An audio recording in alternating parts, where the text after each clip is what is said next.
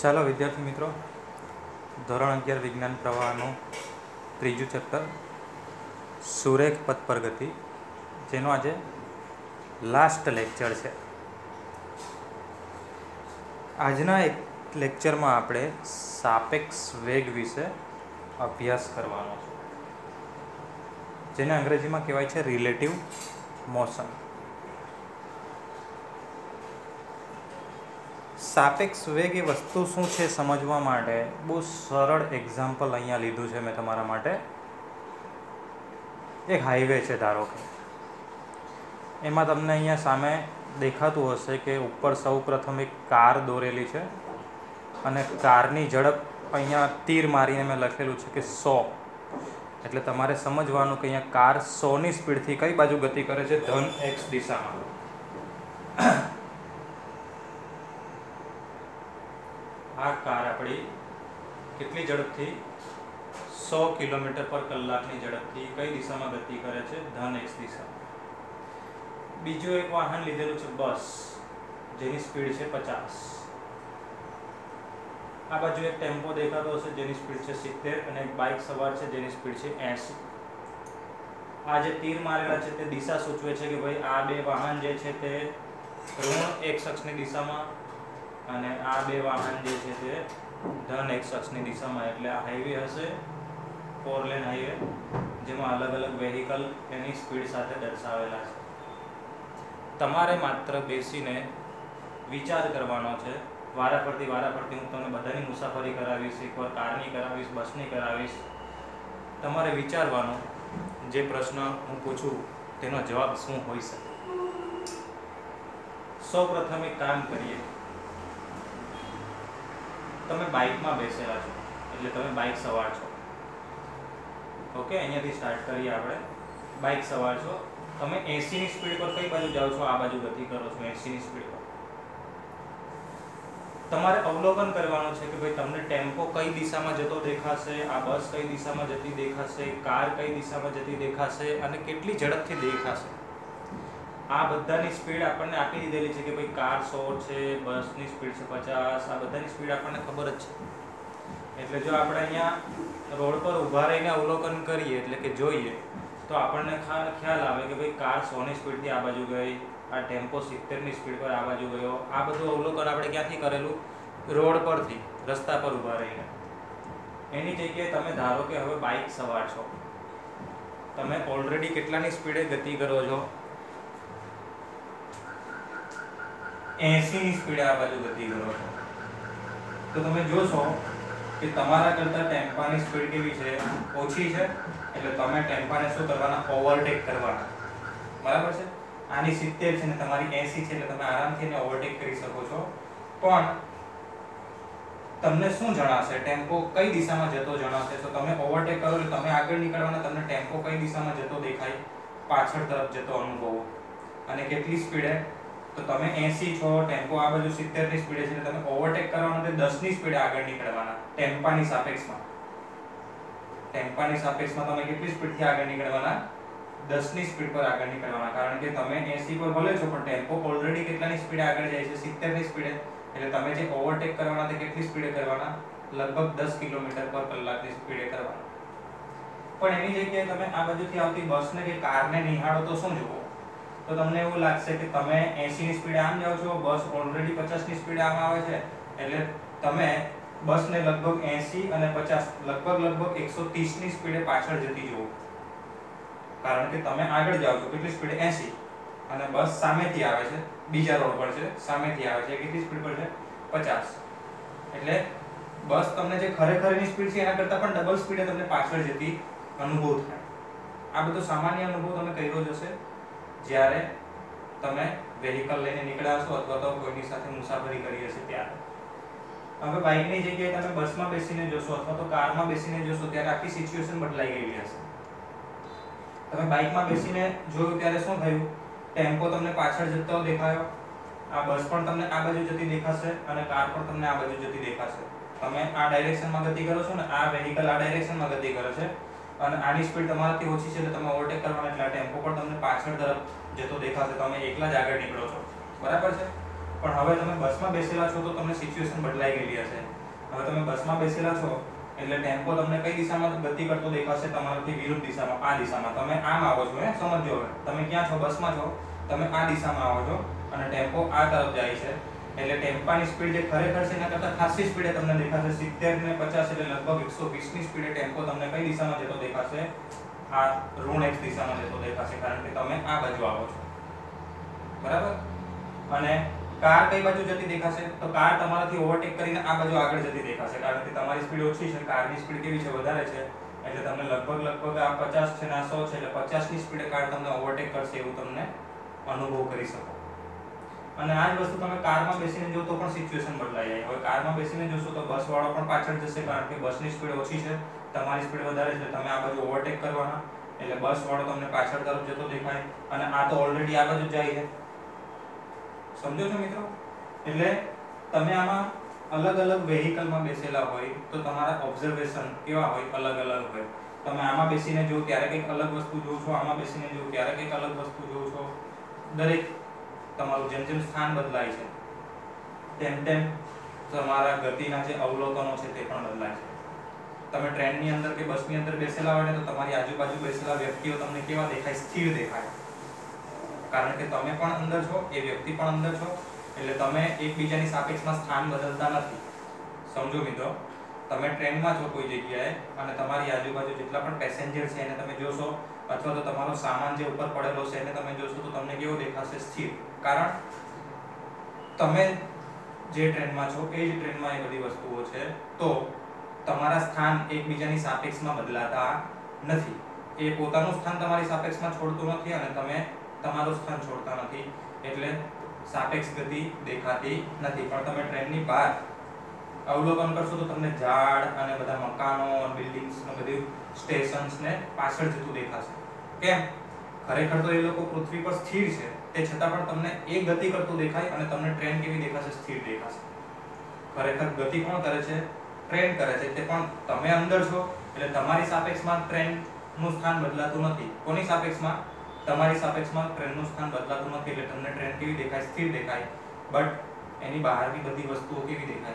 ગતિ હતી પણ આ જ વસ્તુ હવે ટ્રેન જ્યારે સ્ટેશન પર ઊભેલી હોય, ત્યારે તમને ટ્રેન પણ સ્થિર દેખાશે અને બહારની વસ્તુઓ પણ કેવી દેખાશે? સ્થિર દેખાશે. એટલે આ બધી વસ્તુ આપણે કઈ જગ્યાએથી નિહાળીએ છીએ અને કઈ પરિસ્થિતિમાં નિહાળીએ છીએ તેના પર આધાર રાખે. પરિસ્થિતિનો મિનિંગ શું થાય? કે ટ્રેન ચાલુ છે, કે ટ્રેન ઊભેલી છે, કે આ પરિસ્થિતિ કહેવાય. ઊભેલી હોય તે એક પરિસ્થિતિ થઈ અને ટ્રેન ઓલરેડી ગતિમાં હતી તે એક પરિસ્થિતિ થઈ. તો આ બંને પરિસ્થિતિમાં તમે બહાર જો, તો વસ્તુ અલગ અલગ દેખાય. બરાબર ઊભેલી હોય ત્યારે બધું બહારનું સ્થિર જ દેખાશે. પણ જ્યારે ટ્રેન ગતિમાં હોય ત્યારે બહારની વસ્તુઓ બધી પાછળ તરફ ગતિ કરતી દેખાશે. એટલે આમાં આપણે જ્યારે પણ ગતિનું અવલોકન કરીએ ત્યારે આપણે તો પહેલા તો આપણે ક્યાં છીએ, તે મહત્વનું છે અને આપણે કઈ પરિસ્થિતિમાં છીએ, આપણે પોતે ગતિ કરીએ છીએ કે નથી કરતા, તે બે વસ્તુ મહત્વની છે. આ બે વસ્તુને સાંકળતી જે વ્યાખ્યા આપી શકીએ, એટલે કે એક શબ્દ લઈએ એના માટે, તો એને કહેવાય છે નિર્દેશ ફ્રેમ શું કહેવાય છે? નિર્દેશ ફ્રેમ જેનો ડિટેલમાં અભ્યાસ આપણે પાંચમા ચેપ્ટરમાં કરવાનો છે એટલે હું હમણાં એના પર વધારે ભાર નહીં આપું. કારણ કે હમણાં જે વસ્તુ સમજવાની છે તે તમને અહીંયાથી સમજાઈ જશે. ઓકે? સો નિર્દેશ ફ્રેમ પર આપણે પાંચમા ચેપ્ટર પર જશું. અત્યારે આપણે સાપેક્ષ વેગ સમજવાનો છે. ઓકે? તો સાપેક્ષ વેગ સમજવા માટે થોડું આગળ જઈએ હવે. આ અને આ સ્લાઇડ પર તમે બોર થઈ જશો. જોજો મિત્રો. આ એક યામ પદ્ધતિ છે x અને y અક્ષ લઈ લીધા છે મેં. જેનો ઉગમ બિંદુ છે. અને એમાં બે કોણ વિચારેલા છે, એટલે કે બે પદાર્થો ધારો કે આ a અને b જેવી રીતે આ કાર હશે ને બાઇક હશે. તમે લઈ શકો, આ બસ હોય ને આ કાર હોય વોટેવર તમારે જે ઈચ્છા હોય તે બે વાહન લઈ લો, ચાલે. પણ અત્યારે આપણે પદાર્થની રીતે વાત કરીએ તો પદાર્થ a પદાર્થ b એ બંનેના સ્થાન મેં દર્શાવ્યા છે. જો આપણું ઉગમ બિંદુ આ છે, તો a નું સ્થાન આટલું થાય. x a અને b નું સ્થાન આટલું થાય. Xb સમજો છો? આ બંને પદાર્થોના સ્થાન નક્કી કરવાના ને આપણે? કોની સાપેક્ષમાં નક્કી કરીએ? આ તો બધું ચેપ્ટરના શરૂઆતમાં આવી ગયું. તો ઉગમ બિંદુની સાપેક્ષમાં. તો આ અંતર xa અને આ અંતર xb પણ આ બંને વચ્ચેનું અંતર આપણે વ્યાખ્યાયિત કરવું હોય તો? કે b નું સ્થાન a ની સાપેક્ષમાં. B નું સ્થાન કોની સાપેક્ષમાં? A ની સાપેક્ષમાં. તો આપણે આ રીતે લખી શકીએ. આ નોટેશન સમજજો, સંજ્ઞા પદ્ધતિ સમજજો. સ્થાન એટલે x વડે દર્શાવાય. કોનું? b નું એટલે પહેલા b લખ્યો છે. કોની સાપેક્ષમાં? A ની સાપેક્ષમાં, એટલે પછી a આવે. ઓકે? એટલે x અને નીચે સફિક્સમાં b a હોય. Ba okay? જોજો આ અને b અને a ને આપણે x ની જેટલા મોટા અને એની સાથે ગુણાકારમાં લખવાના નથી. લખતી વખતે શીખજો. X મોટો પાડવાનો છે અને નીચે b a નાના સ્મોલ લેટરમાં લખવાનો છે. તો x, b, a એટલે કે કોનું સ્થાન? તો કે b નું સ્થાન કોની સાપેક્ષમાં? A ની સાપેક્ષમાં. કઈ રીતે નક્કી કરશો? આપણે b નું સ્થાન જોવાનું છે, a ની સાપેક્ષમાં. એટલે આ અંતર માપવાનું છે. સો તમને સમજાઈ ગયો હશે કે આ કુલમાંથી આટલું બાદ કરી નાખો. એટલે કે xb માંથી x એ બાદ કરું, તો મને આ b નું સ્થાન એની સાપેક્ષમાં મળી જાય. ઓકે એટલે આપણે લખી શકીએ કે xba xb x આકૃતિ પરથી તમને તરત સમજાઈ જશે. ઉગમ બિંદુની સાપેક્ષમાં a નું સ્થાન આટલું, b નું સ્થાન આટલું. પણ આપણે તો કોની સાપેક્ષમાં શોધવાનું છે? a ની સાપેક્ષમાં b નું શોધવાનું છે. કોનું શોધવાનું છે તો? b નું. કોની સાપેક્ષમાં? a ની સાપેક્ષમાં, એટલે આટલું. એટલે આ અંતરમાંથી આ અંતર બાદ કરવું પડે. બંને બાજુ વિકલન કરો. કોની સાપેક્ષમાં, સમયની સાપેક્ષમાં. તો સ્થાનનું વિકલન છે એટલે વેગ મળે. એટલે તમને વેગ મળ્યો b ની b નો a ની સાપેક્ષમાં is equal to b નો વેગ ઓછા a નો વેગ. બહુ ઇમ્પોર્ટન્ટ સૂત્ર છે VBA. VBA એટલે કે કોનો વેગ ભાઈ? b નો વેગ. કોની સાપેક્ષમાં? a ની સાપેક્ષમાં. કેટલો મળે? VB minus VA.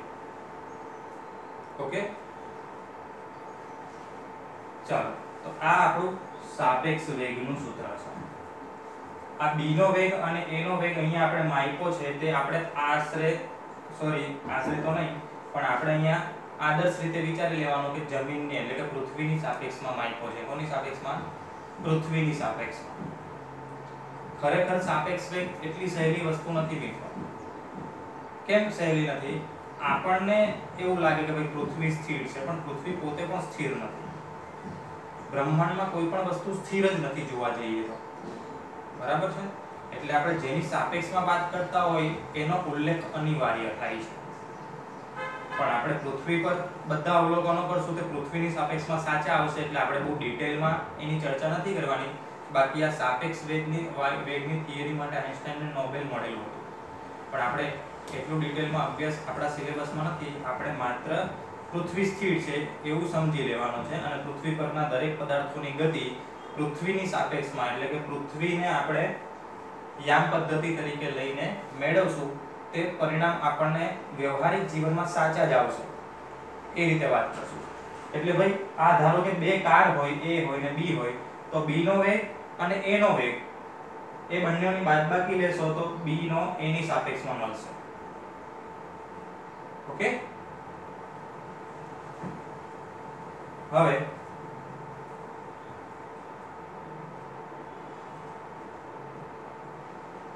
જો આ સૂત્ર યાદ રહી ગયું હોય, તમને તો થોડીક આપણે વાત કરી લઈએ આ સ્લાઇડ પર વળી પાછી આને એ કહી દઈએ, આને બી કહી દઈએ. આ કારને એ કહી દઈએ ને બસને બી કહી દઈએ. ઓકે સો મારે VAB શોધવું છે. શું શોધવું છે? VAB એટલે કે A નો B ની સાપેક્ષમાં વેગ. A નો B ની સાપેક્ષમાં તો VA VB થાય. સૂત્ર યાદ આવ્યું? હમણાં જોઈ ગયા આપણે. જો B પહેલા આવે અને A પછી આવે, તો VB VA અને આની જગ્યાએ VAB હશે, તો VA VB એવું આવતું. એ સમજવા માટે થઈને જ આપણે અહીંયા આ એક્ઝામ્પલ લઈએ છીએ.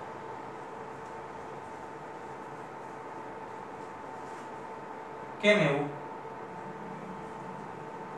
ચાલો. કારને આપણે A કીધી, બસને B કીધી. અને VAB શોધવું છે. શું શોધવું છે? VAB તો VAB નો મીનિંગ શું થાય? A નો વેગ B ની સાપેક્ષમાં. શું બોલું છું? A નો વેગ B ની સાપેક્ષમાં. A નો વેગ એટલે કોનો વેગ?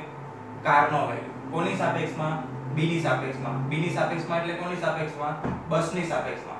બસની સાપેક્ષમાં એટલે તમે લોકો બધા ક્યાં બેસેલા છો? બસમાં બેસેલા છો અને કોને જોવો છો? કારને.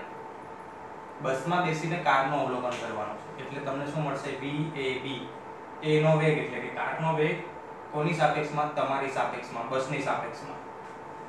તો સૂત્ર પ્રમાણે va vb કરો. તો કારનો વેગ છે 100 આનો છે 50 100 માંથી 50 જશે તો 50 એટલે તમને મળશે 50 મીટર પર સોરી 50 કિલોમીટર પર કલાક. આગળ તરફ. ઓકે? સમજો અહીંયા ખાસ એક વસ્તુ સમજાવવા માંગુ છું તે સમજો. VAB આપણે શોધ્યું તો કેટલું મળ્યું? 50 આની જગ્યાએ VBA શોધતે આપણે. શું શોધવું પડતે VBA સો VBA શું થાય? તો VB VA થાય. એટલે કે B નો એટલે કે બસનો વેગ કોની સાપેક્ષમાં? કારની સાપેક્ષમાં. કારની સાપેક્ષમાં એટલે તમારે ક્યાં બેસવું પડે? હવે કારમાં બેસવું પડે ને કારમાં બેસીને કોનું અવલોકન કરવું પડે બસનું? કારણ કે તમે કોનો વેગ માપી રહ્યા છો હમણાં? બસનો. અને કોની સાપેક્ષમાં માપી રહ્યા છો? તો કારની સાપેક્ષમાં. એટલે કારની અંદર જઈને તમારે બસનું અવલોકન કરવું પડે. તો તમને VBA મળે. હવે આપણે સૂત્ર પ્રમાણે વાત કરીએ કે જો શું? VAB VA VB થાય તો બરાબર VB VA થાય? કે નહીં તે આપણે ચેક કરવા માટે કોશિશ કરીએ છીએ. તો VBA શોધો મિત્રો. તો શું કરવું પડશે? VB VA એટલે બસના વેગમાંથી કારનો વેગ બાદ કરો. તો 50 માંથી 100 જાય તો -50 મળ્યો મિત્રો. કેટલો મળ્યો? -50 આ ઋણ સંખ્યા કેમ મળી? એનો ખ્યાલ આવ્યો તમને? ઋણ સંખ્યા અહીંયા એટલે મળી કારણ કે તમે ક્યાં બેસેલા છો? કારમાં અને તમે કોને નિહાળો છો? બસને. કોની ઝડપ વધારે છે? કારની. અને બસની ઝડપ કેવી છે? ઓછી. એટલે તમે કઈ બાજુ જાઓ છો? આ તરફ. ભલે બસ પણ આ તરફ જાય છે, પણ કારમાં બેસીને તમે બસને જોશો, તો તમે એને ઓવરટેક કરશો. એટલે બસ તમને કઈ દિશામાં જતી દેખાશે? આપણે ક્યારેય કોઈ પણ વેહિકલને ઓવરટેક કરીએ, એટલે એ વેહિકલ આપણને કઈ દિશામાં જતું દેખાય? પાછળ તરફ. સમજો છો? એટલે કારમાં બેસીને બસને જો તો એ પાછળ તરફ જતી દેખાય, એટલે એનો વેગ કઈ દિશામાં થયો? પાછળ તરફ થયો. કોની સાપેક્ષમાં? તમારી સાપેક્ષમાં. એટલે અહીંયા માઇનસ પચાસ મળ્યો છે. કેવો મળ્યો છે? માઇનસ પચાસ. પણ એ જ વસ્તુ તમે બસમાં બેસીને નિહાળો. તો બસમાં બેઠા છો એટલે કોનો વેગ માપવાના? કારનો. એટલે શું માપવાના? વી એ બી માપવાના. જેનો માપવાના હોય તે પહેલા આવે અને જેમાં બેસીને માપો તે પછી આવે. પેલું સૂત્ર યાદ છે ને? આની સાપેક્ષમાં આનો. ઓકે? અથવા તો કારનો બીની સાપેક્ષમાં. તો તમે કારનો વેગ માપો છો એટલે a નો વેગ માપો છો, બસમાં બેસીને, એટલે b ની સાપેક્ષમાં તો VAB શોધો તો કેટલો આવેલો? આપણો 50 આવેલો. એ શું સૂચવે છે કે તમે બસમાં બેસેલા છો તો તમને કાર કઈ બાજુ જતી દેખાશે? એ ઓવરટેક કરવાની એની સ્પીડ વધારે એટલે તમને તમારાથી આગળ જતી દેખાય. અને આગળ જતી દેખાય એટલે દિશા ધન મળી એટલે પ્લસ આવ્યો તો અને કારમાં બેસેલા હોય અને બસને જો તો બસ પાછળ તરફ જાય એટલે તમને ઋણ ચિહ્ન મળે છે. ઓકે? એટલે આમાં ખોટું કશું નથી. આપણે જે વેહિકલમાં બેસેલા છું, એ મુજબ આપણને અમુક વેહિકલ આગળ નીકળતા દેખાશે, અમુક વેહિકલ પાછળ જતા દેખાશે, જેની સ્પીડ વધારે હશે તે આપણને ઓવરટેક કરશે, જેની સ્પીડ ઓછી હશે તે ને આપણે ઓવરટેક કરશું. તો એ મુજબ આપણે જ્યારે સાપેક્ષ વેગ શોધશું, તો અમુકનો ધન મળશે, અમુકનો માઇનસ મળશે. જે ધન મળે તે આપણાથી આગળ તરફ જતા હશે અને જે ઋણ મળે તે આપણાથી પાછળ તરફ જતા હશે. પણ જ્યારે દિશા પરસ્પર વિરુદ્ધ હોય ત્યારે શું કરવાનું? અત્યાર સુધી તો આપણે VA VB કર્યું તો સીધી બાદબાકી કરી, કારણ કે દિશા એક જ હતી. એટલે ઋણનો લોચો આવેલો નહોતો. પણ હવે જો આ બસ અને આ ટેમ્પોને તમારે ધ્યાનમાં લેવો તો બસની સ્પીડ આ દિશામાં છે, જેને ધન દિશા કહીએ છીએ આપણે અલ્વેઝ, અને ટેમ્પોની સ્પીડ ઋણ દિશામાં છે. બરાબર છે? તો હવે તમારે આની સાપેક્ષમાં આનો શોધવો હોય કે ટેમ્પાની સાપેક્ષમાં બસનો શોધવો હોય તો કયો ધન ને કયો ઋણ એ તમારે ધ્યાનમાં લેવું પડે. ચાલો આપણે એક કામ કરીએ, ટેમ્પામાં બેસવામાં આપણને બહુ આદત નથી એટલે બસમાં બેસી રહો અને કોનો વેગ માપો? ટેમ્પા. તો આનો વેગ માપીએ.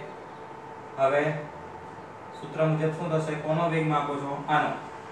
કોની સાપેક્ષમાં? તમારી સાપેક્ષમાં. એટલે કોનામાંથી શું બાદ કરવાનું? આને સી કહી દો. આને બી કહી દો. આને એ કીધું છે, આને બી કીધું છે, આને સી કહી દો. એટલે તમે કોનો માપો છો? સી નો એટલે VC કોની સાપેક્ષમાં? બસની સાપેક્ષમાં. એટલે VCB શું આપવાનું છે હવે? VCB તો શું આવશે? સૂત્ર પ્રમાણે VC VB આવશે. શું આવશે? VC VB પણ આમાં VC ની જગ્યાએ 70 અને VB ની જગ્યાએ 50 ડાયરેક્ટ નહીં મુકાય. આ માઇનસ દિશામાં છે તો માઇનસ સિત્તેર અને આ ધન દિશામાં છે તો પચાસ પ્લસ આવે. પણ વચ્ચે તો માઇનસ આવે છે ને? આપણા સૂત્રમાં તો માઇનસ આવે છે ને? આ તો માઇનસ કરું જ ને. એટલે આ જે પ્લસ પચાસ મૂકશું, એની આગળ તો ઓલરેડી માઇનસ છે, એટલે પ્લસ માઇનસ માઇનસ થઈ જશે, એટલે માઇનસ સિત્તેર માઇનસ પચાસ. જોજો માઇનસ સિત્તેર માઇનસ પચાસ. બંને માઇનસ એટલે સરવાળો થાય સિત્તેર ને પચાસ, એકસો વીસ. અને આગળ માઇનસ કોમન છે, અથવા તો મોટી સંખ્યાનું ચિહ્ન મૂકો, તો માઇનસ એકસો ને વીસ. તમને બસની સાપેક્ષમાં ટેમ્પાની ઝડપ કેટલી મળી? માઇનસ એકસો ને વીસ. એકસો વીસ એ બંનેનો સરવાળો આવ્યો એટલે મળી અને માઇનસ દિશા એટલે કારણ કે ટેમ્પો આ દિશામાં જતો દેખાશે તમને એટલે. ખ્યાલ આવે છે? હવે ધારો કે આપણે બાઇક પર બેસીએ અને બસને નિહાળીએ. બાઇક પર બેસીને કોને નિહાળો? બસને. એટલે કોનો માપવાનો બસનો? ક્યાં બેસીને? બાઇક પર. આને ડી કહી દઈએ? ઓકે આને ડી કહી તો તમે બસનો માપો છો એટલે VB માપવાનો VB કોની સાપેક્ષમાં? D ની સાપેક્ષમાં માપવાનો. તો VB VD બસમાંથી આનો વેગ બાદ કરવો પડે. તો બસનો 50 એટલે પ્લસ 50 માંથી માઇનસ 80 બાદ કરો. પ્લસ 50 માંથી માઇનસ 80 બાદ કરો એટલે 50 ઓછા ઓછા 80 50 ઓછા ઓછા 80 ઓછા ઓછા વધતા થાય એટલે 50 વત્તા 80 એટલે કેટલા થાય? 8 ને 5 એટલે 130 અને આ પ્લસ મળશે. કારણ કે તમે બાઇકમાં બેસેલા છો બસ તમને કઈ દિશામાં જતી દેખાશે? ધન દિશામાં. ઓકે એટલે આ રીતે તમારે એક્ઝામ્પલમાં બે દિશા નક્કી કરીને પછી સાપેક્ષ વેગના સૂત્ર વાપરવાના હોય છે. બરાબર છે? સાપેક્ષ વેગનું સૂત્ર બહુ સરળ છે, મિત્રો. આ પહેલો જે આવે તેનો અને બીજાની સાપેક્ષમાં. હંમેશા એવું યાદ રાખો કે પહેલો ક્રમ જેનો હોય તેનો પછી અહીંયા બીનો, એની સાપેક્ષમાં.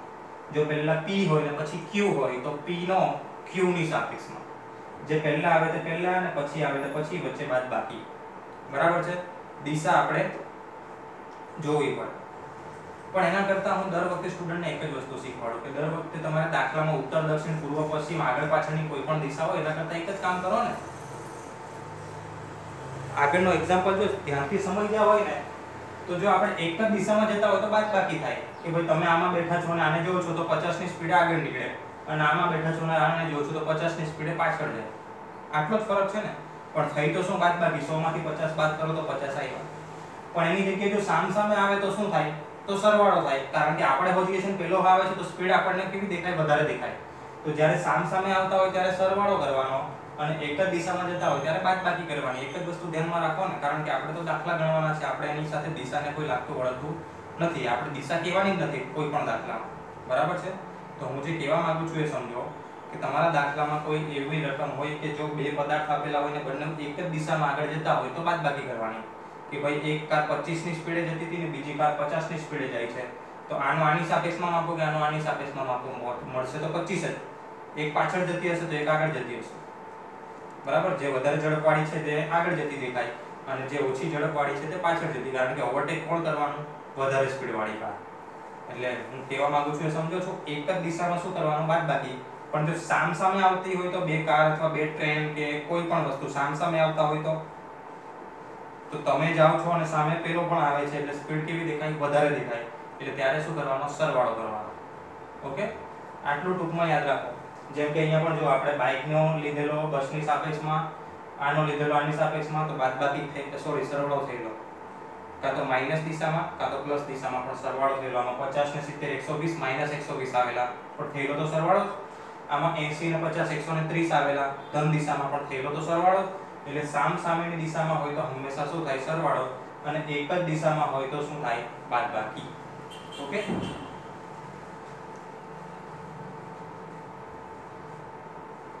અહીંયા થોડા આલેખ આપેલા છે. પહેલાં એ સમજી લઈએ કે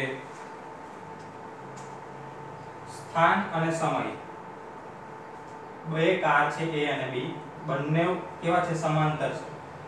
એટલે બંનેના તમે ઢાળ શોધો તો સ્થાન અને સમયનો ઢાળ શું આપે? વેગ આપે. બંનેના ઢાળ સરખા છે એટલે વેગ બંનેના સરખા છે. બંને આ વેહિકલ જે પણ હશે એ બંનેના વેગ કેવા છે? એક સરખા છે. બંનેના વેગ એક સરખા હોય એટલે બંને વચ્ચેનું સ્થાન ક્યારેય બદલાય નહીં. જો આ સરખું જ મળશે. બંને વચ્ચેનું સ્થાન બદલાતું નથી. એનું એક સરળ ઉદાહરણ આપી દઉં કે તમે બાઇક લઈને નીકળ્યા છો અને આગળ એક કાર વાળો ચાલે છે. હવે કાર પણ 60 ની સ્પીડે જાય છે અને તમે પાછળ બાઇક પણ 60 ની સ્પીડે ચલાવો છો, તો શું થાય? કાર તમારાથી જેટલી દૂર હશે એટલી જ દૂર રહેશે. નહીં, તમે એની નજીક જાઓ કે નહીં પાછળ? એની સ્પીડ ધીમી થઈ જાય, ધારો કે કારવાળાની સ્પીડ ધીમી થઈ જાય, તો તમે નજીક જશો. અને તમે પણ એને જોઈને તરત બ્રેક મારશો. બરાબર? અને બાય ચાન્સ એ સ્પીડ વધારી દે, તો એ તમારાથી દૂર જતો રહે. બરાબર છે? ત્યારે અંતરમાં ફરક પડે. પણ જો તમારી આગળ વાળાને તમે બંને એક જ સરખી સ્પીડ પર ચાલ્યા કરો, તો બંને જેટલા અંતર પર છો એટલા જ અંતર પર રહેવાના, એટલા સ્થાન બદલાવાનું નથી. સાપેક્ષ સ્થાન જેને કહેવાય તે બદલાવાનું નથી. આ બંને એક્ઝામ્પલમાં એ આપણે જોઈએ છે કે બંને કારની ઝડપ એટલે કે અહીંયા ઢાળ કેવો છે? સરખો છે અને બંને કાર વચ્ચેના સ્થાનમાં ફરક પડતો નથી. પણ જો અલગ અલગ હોય તો શું થાય? જેમ કે હમણાં મેં તમને કીધું કે બંને બે કાર, બે બાઇક વાળા કોઈ પણ બે મિત્રો અહીંયાથી નીકળે છે, એક ધીમો ધીમો જાય છે અને એક સ્પીડમાં જાય છે. જોઈ લો બંનેના ઢાળ અલગ અલગ છે. આનો ઢાળ સહેલો છે, આનો ઢાળ અઘરો છે. તમને ખબર છે ને? ઢાળ એટલે શું? આપે વેગ આપે. તો આ ધીમો જાય છે, આ ફાસ્ટ જાય છે. એટલે તમને દેખાતો હશે કે જો જેમ અંતર વધતું જાય. બંને વચ્ચેનું અંતર આટલું જ હતું. આગળ સમય જતા બંને વચ્ચેનું અંતર શું થાય છે? વધતું જાય છે. કારણ કે આ ભાઈ વધારે સ્પીડમાં ગાડી ચલાવે છે અને તમે જે પાછળ છો તે ધીમે ધીમે ચલાવો છો. ઓકે? તો બંને વચ્ચેનું અંતર વધતું જવાનું. અને એની જગ્યાએ આ એક એક્ઝામ્પલ લઈ લઈએ. જે આગળ પણ એકવાર આવી ગયેલો છે, જો કે. આ એક કાર છે અને આ બીજી કાર છે. જો તમે ઢાળ જોવા માંગતા હોય તો આનો ઢાળ જે છે બ્લુ કલરનો એની કરતા આ પિંક કલરનો જે ઢાળ છે તે વધારે છે.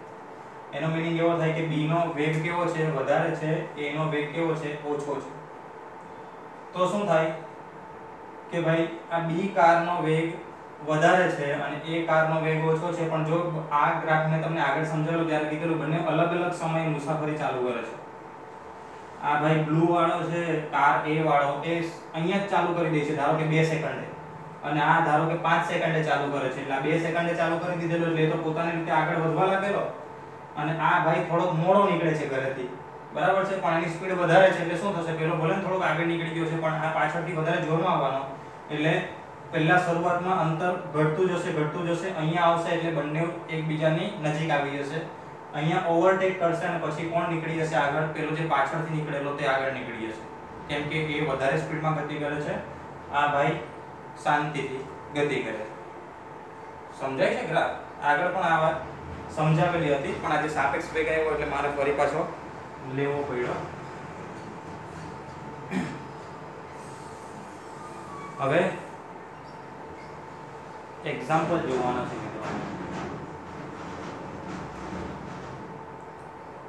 જો સમજી લો રકમ ઝીરો સમયે એ અને બી કાર ક્યાંથી શરૂ કરે છે ઉગમ બિંદુથી શરૂ કરે છે આમાં ઉગમ બિંદુ આપ્યું એટલે તમારે બધા અંતરો ઉગમ બિંદુથી લેવાના ઉગમ બિંદુથી પચાસ મીટર છે ને 175 મીટર છે એટલે ઉગમ બિંદુ પર નથી, ઉગમ બિંદુ ધારો કે પાછળ હશે તો એક પચાસ મીટર ઊભો છે અને એક એકસો પંચોતેર મીટર ઊભો છે.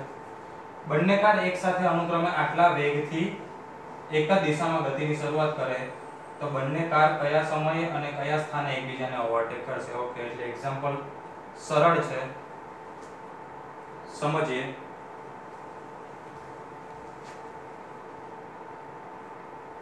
તમારા માટે વળી પાછી આ આકૃતિ જે છે તે બતાવી દો આ ઉગમ બિંદુ આપણા એક્ઝામ્પલમાં બે કાર આપેલી છે તેવી ધારી લઈએ.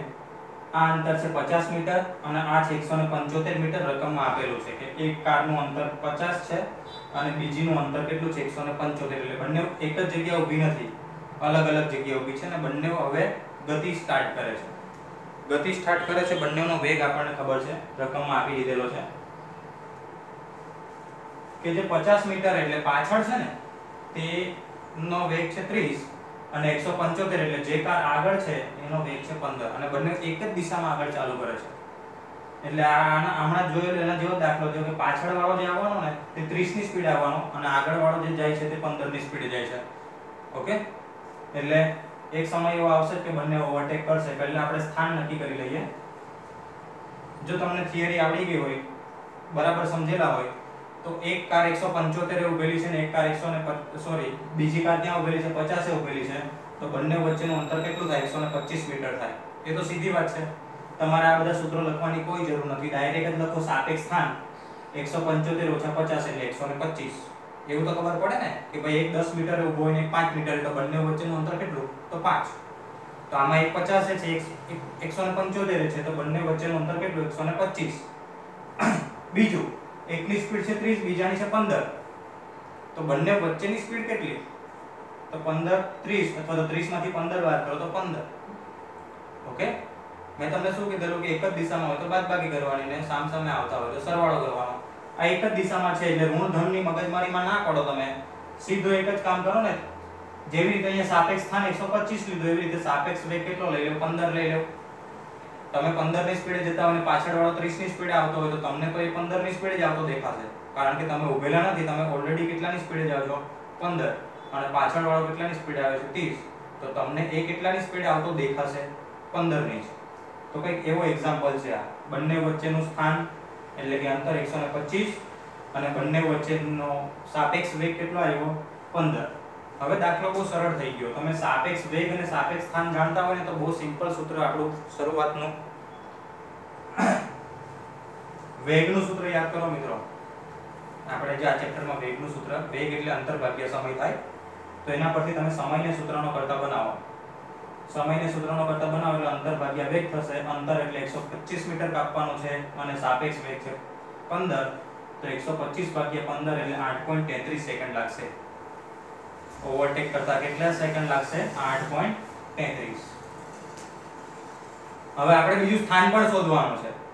તો વિચાર કરો મિત્રો કે બંને કાર ઓલરેડી ગતિમાં જતી પેલો આગળ ધીમે ધીમે જતો તો પાછળ વાળો જોરમાં જતો તો, બંને જ્યાં ઓવરટેક કરશે તે સ્થાન શોધવાનું છે. તો કેટલા સેકન્ડ પછી ઓવરટેક કરે છે? 8.33 તો એટલા સમયમાં બંને કાર આગળ જ્યાં નીકળેલી છે તે તો શોધવાનું ને? તો આપણે એક કામ કરીએ, કાર A ને ધ્યાનમાં લેવો હોય તો કાર A ને ધ્યાનમાં લેવો અને કાર B ને ધ્યાનમાં લેવો હોય તો કાર B ને ધ્યાનમાં લેવો. મેં કઈ કારને ધ્યાનમાં લીધેલું છે? A ને. તો એ દરમિયાન કાર A જેટલું અંતર કાપશે તે શોધવાનું. કેટલા સમયમાં? 8.33 સેકન્ડમાં કાર A જે અંતર કાપે તે શોધવાનું. તો અંતર એટલે વળી પાછું આમાંથી અંતરને સૂત્રનો કરતા બનાવો તો વેગ ગુણ્યા સમય આવે. પણ વેગ કોનો લેવાનો? કાર A ને ધ્યાનમાં લીધેલી છે તો કાર A નો વેગ. કાર A વેગ રકમમાં તો 30 અને સમય છે 8.33 તો આવશે 250 મીટર અંતર કાપ્યું કેટલું? 250 આપણે ઉગમ બિંદુથી માપવાનું હોય તો કાર એ આપણી હતી 50 એ અને બીજા કેટલા મીટર આગળ નીકળી ગઈ? 250 એટલે ટોટલ કેટલું મીટર અંતર થયું? 300 ઓકે? તો